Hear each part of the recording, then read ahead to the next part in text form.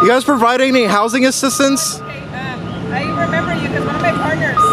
Yes. But they never followed up, and I've been calling LAHSA for like over the past year. So you need to talk with them. You want to? Well- I can- I, they uh, they are in another area, but I can tell them to come by. You need to talk with them. I, I gotta go right now. I got actually stuff to do, but Okay. So. But I'm just I'm just saying I've been calling and following up.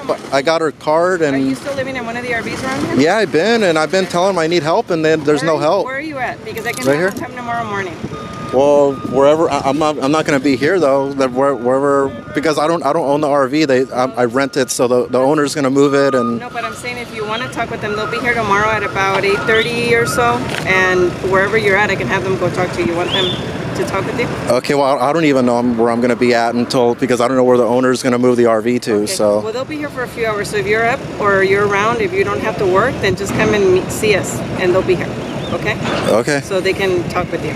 All right. There's also, I know today we had LAHSA, we had HOPICS, and so far those two, those two outreach groups right here. So the, the only thing is like I need like my own like a room, not like a shelter. I got a cat, so yeah, no, I hear you. I know. yeah. Um, they're gonna answer those questions for you. I don't, I can't promise you that. You know what I mean? Because they're the ones that provide that.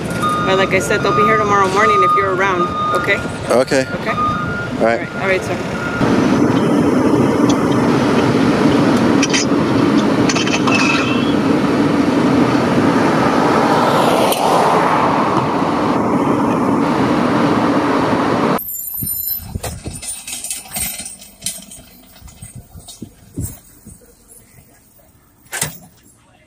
Shit.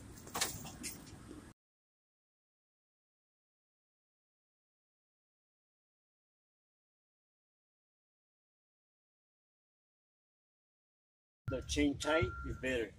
Yeah.